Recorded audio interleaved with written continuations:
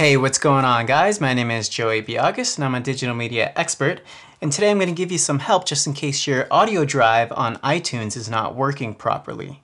So let's go ahead and dive right in. I have iTunes open here and one of the things that you can do is check for updates on your iTunes. So if we cruise up to the top left corner, click on iTunes and go down to check for updates,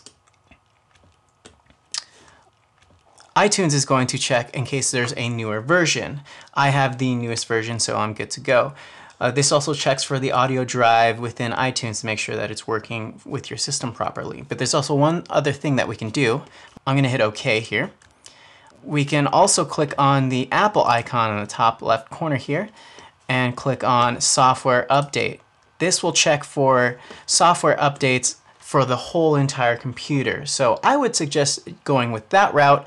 Um, that way you have all your bases covered. But that's basically it guys. There's not much to it. All you have to do is check for updates and make sure that your audio driver is uh, currently updated. So if you do have any other questions, please let us know and thank you for watching.